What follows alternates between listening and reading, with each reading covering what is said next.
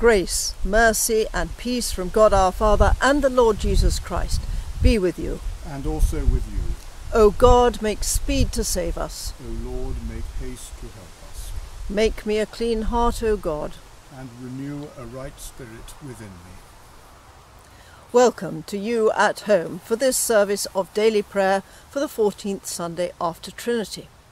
The pandemic has reached a new and dangerous phase, but I felt encouraged by the Archbishop of Canterbury's words of encouragement this week as we are now forbidden from social gatherings of more than six people.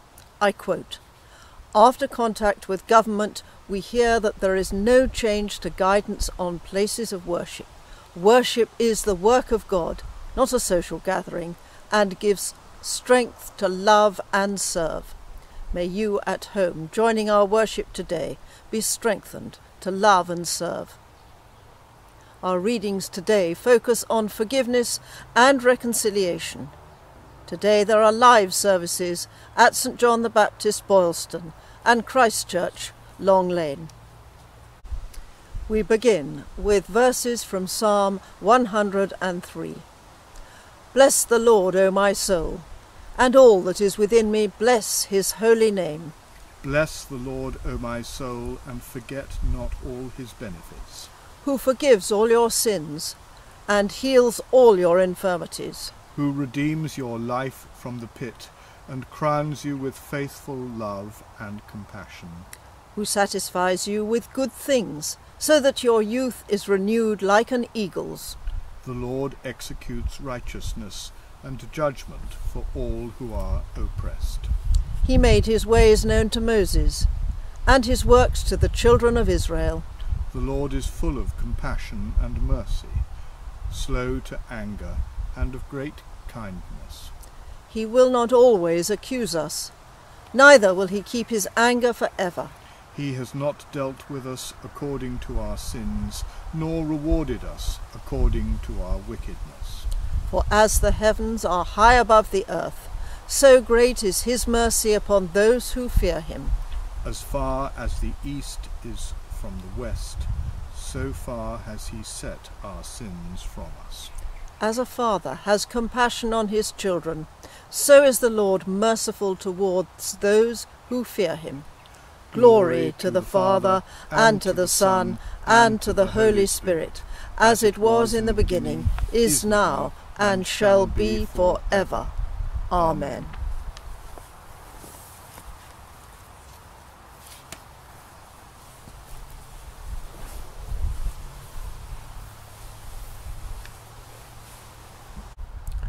A reading from the book of Genesis.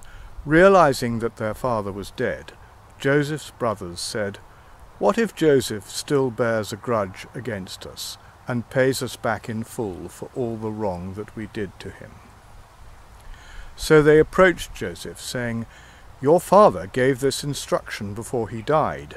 Say to Joseph, I beg you, forgive the crime of your brothers and the wrong they did in harming you. Now therefore please forgive the crime of the servants of the God of your father. Joseph wept when they spoke to him. Then his brothers also wept, fell down before him, and said, We are here as your slaves. But Joseph said to them, Do not be afraid. Am I in the place of God? Even though you intended to do harm to me, God intended it for good, in order to preserve a numerous people, as he is doing today. So have no fear. I myself will provide for you and your little ones. In this way he reassured them, speaking kindly to them.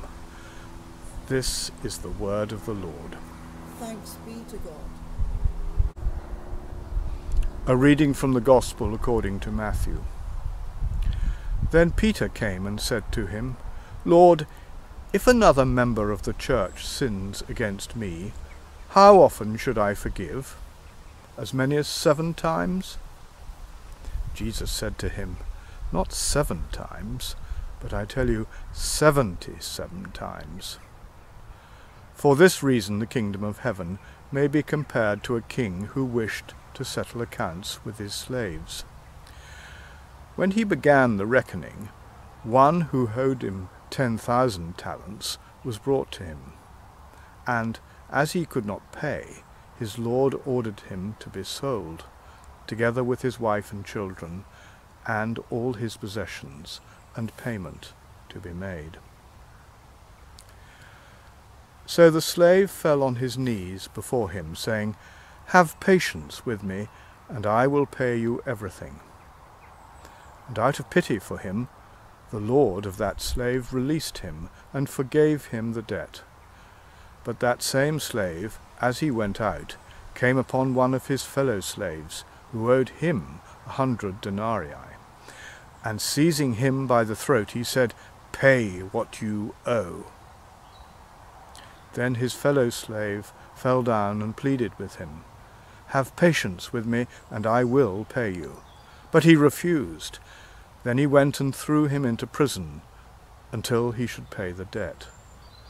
When his fellow slaves saw what had happened, they were greatly distressed, and they went and reported to their lord all that had taken place. Then his lord summoned him and said to him, You wicked slave, I forgave you all that debt because you pleaded with me. Should you not have had mercy on your fellow slave, as I had mercy on you?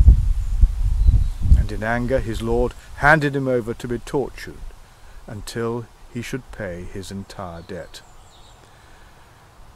So my heavenly Father will also do to every one of you, if you do not forgive your brother or sister from your heart. This is the word of the Lord. Thanks be to God.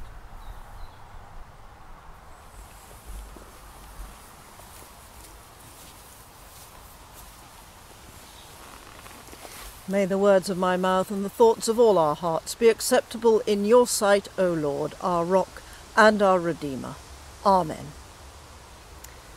We've just heard the end of the story of Joseph. Joseph, one of the twelve sons of Jacob. It is one of the best plots in the Bible.